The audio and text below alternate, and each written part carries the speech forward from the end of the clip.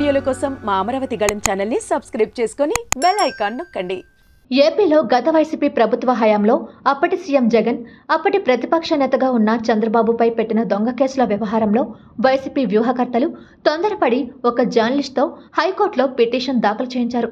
చంద్రబాబుపై కేసులు ఉన్నాయి కాబట్టి ఆ కేసుల్ని రాష్ట్ర దర్యాప్తు సంస్థలు దర్యాప్తు చేయకూడదని సిబిఐ ఈడీ వంటి వాటికి బదిలీ చేయాలని ఆ పిటిషన్ సారాంశం. ఈ పిటిషన్పై హైకోర్టు కూడా ఆశ్చర్యం వ్యక్తం చేసింది. కేసుల్ని సమీక్షించొద్దని ప్రభుత్వానికి ఎలా చెబుతామని ప్రశ్నించింది. నిజానికి అప్పుడే జగన్ ప్రభుత్వం తనకున్న అధికారాలతోనే కేసులు పెట్టింది. ఆధారాలు ఉన్నాయా లేవా అని కూడా చూడలేదు.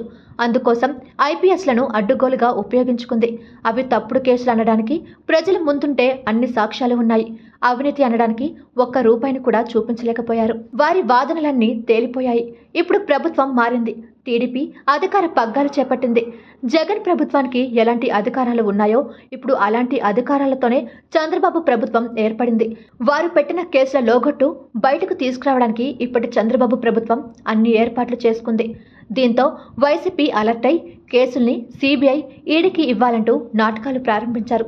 జగన్ ప్రభుత్వానికి కేసులు పెట్టడానికి ఎన్ని అధికారాలున్నాయో వాటిని సమీక్షించడానికి ప్రస్తుత ప్రభుత్వానికి అన్నే అధికారాలు ఉంటాయన్న విషయం ఆ పార్టీ మరిచింది. వారి హయాంలో సిఐడి ఎంత బాగా పనిచేసిందో ఇప్పుడు కూడా అంతకంటే బాగా పనిచేస్తోంది. అందులో సందేహమే ఉండదు. మరి జగన్ అంటుకో ఎందుకు కంగారు పడుతున్నారని టీడీపీ నేతలు ప్రశ్నిస్తున్నారు.